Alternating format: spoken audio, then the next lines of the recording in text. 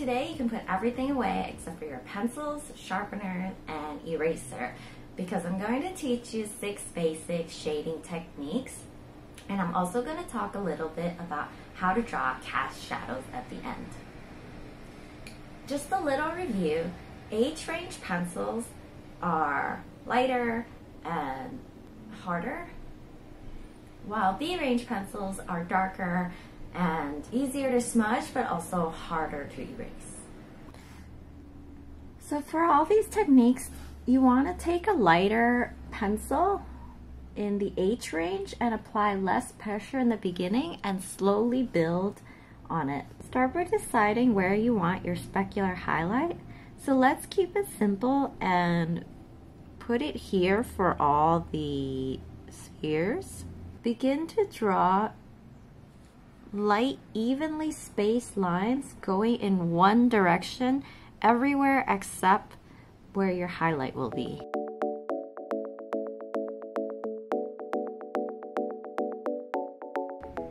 You want to make sure that all the lines are going across the whole shape instead of doing something like this because it creates a an uneven gradient which isn't realistic and it's distracting when you see these darker areas uh, where the line starts and lighter areas. Another thing to note is if you start the line at the darker part and end at the lighter part, it will help you as well to achieve that gradient because where the pencil tapers off, that part will be thinner and lighter. Continue drawing some more lines. The closer the lines are to each other, the darker it will seem. Now you can probably switch to your mid-tone pencil. I have a 3B here. Something like a HB or a 2B, 3B is fine go in and put in those medium grays.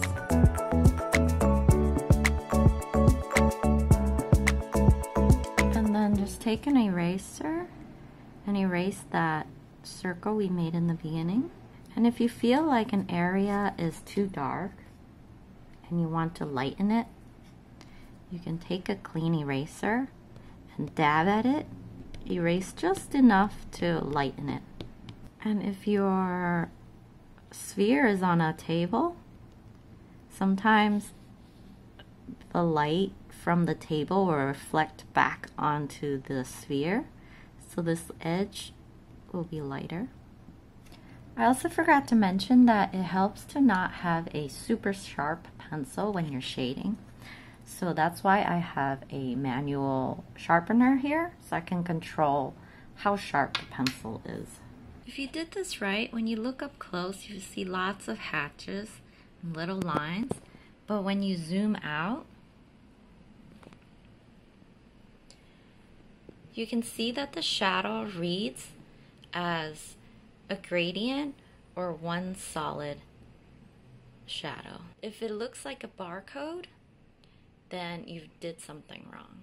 Cross hatching is pretty similar to hatching except you're drawing lines in the opposite direction as well. I think when it's really perpendicular, it tends to read as a mesh instead of shading.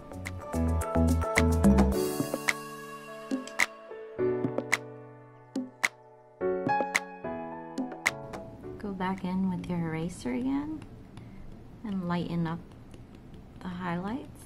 You should check out Leonardo da Vinci's sketchbook.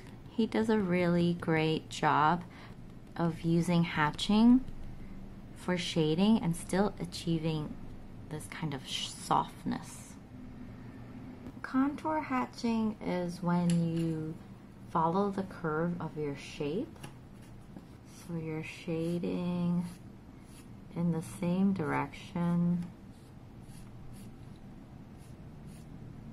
as your shape. This one's kind of tricky to get a smooth gradient. I wouldn't recommend it unless this is the style that you're going for. It kind of has a sort of Tim Burton style.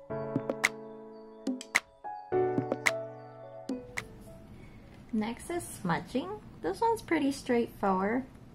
I would actually start right away with your B pencil and I would hold my pencil on an angle and very gently apply pressure. And you want to try to make the gradient smooth and not fully rely on the smudging to smooth it out.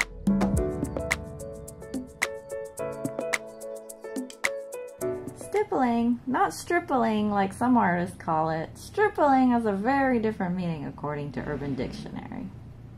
I would just go ahead and take a B range pencil that's not super sharp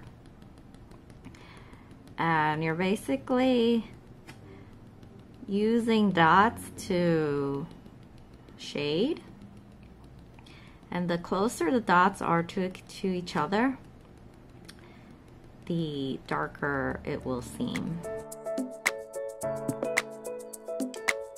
Lastly, let's look at scumbling, or sometimes it's called scribbling. This is when you shade using random circular motions.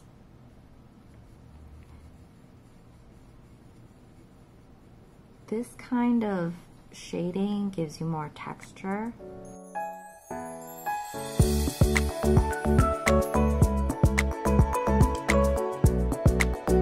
If you do this right, it shouldn't look like pubic hair. It should look more like soft wool.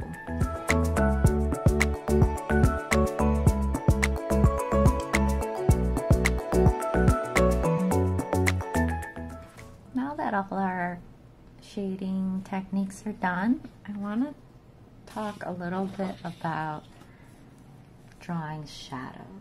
Let's say you have a column and it's outdoors. Sun rays tend to be more parallel versus a light bulb where the light is radial.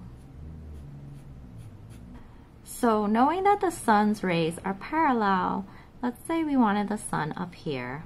We can literally draw a line straight from the corners. And you want these lines to be parallel to each other. And this line here will be parallel to this line. And this line here will be parallel to that line. And then you can connect this corner to that corner. And this one to this corner.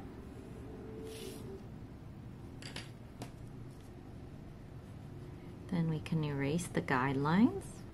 Now we can take one of our B pencils and shade that in really smoothly. And if you notice shadows, when the sun is higher up, the shadows tend to be darker and the edges of the shadow are less blurry. If you notice that the further you are from the object, the more blurry the shadow gets. Now let's say the sun is lower and maybe a little less direct.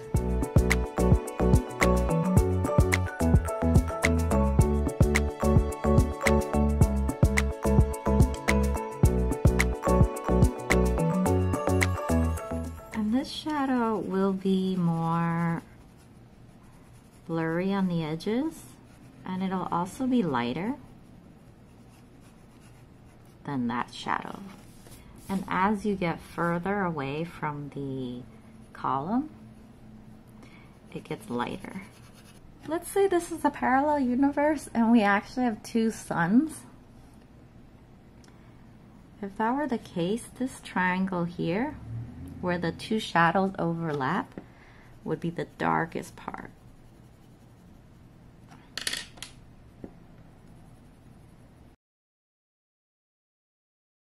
That's all folks. I hope you learned something today. I would love to keep these tutorials free and ad-free, so please help me out by donating on ko-fi.com slash biomimi underscore art. Remember to hit like, subscribe, comment, and the notification bell, and I will see you next time. Stay safe and make art.